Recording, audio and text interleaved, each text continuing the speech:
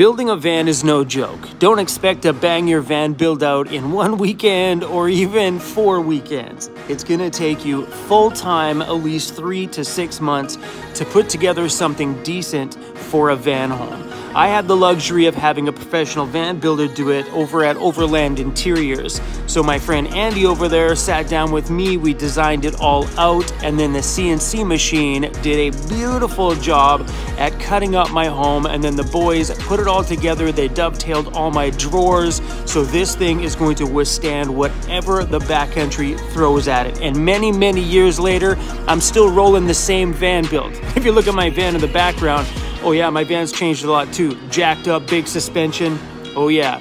Overland Interiors, I love you brother. Thanks for all the hard work. Your build is still rocking it.